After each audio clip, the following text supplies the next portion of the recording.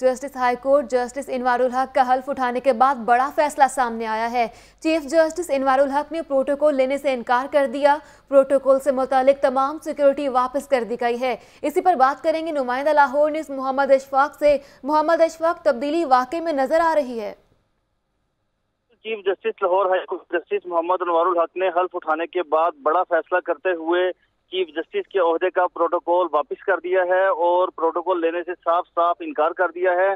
Chief justice Lahore high court justice Muhammad Anwar ul Haq نے یہ کہا ہے کہ کسی بھی پروٹوکول کے لیے چیف جسٹس کے عہدے کو جو پروٹوکول دیا گیا تھا، جو گاڑیاں تھیں لیڈ فورس کے جوان تھے، ان کی تمام جو سیکیورٹی ہے وہ فوری طور پر واپس کر دی جائے۔ وہ صرف لاہور ہائی کورٹ کے جج کی سیکیورٹی لیں گے، اس کے علاوہ وہ کسی قسم کا پروٹوکول نہیں لیں گے۔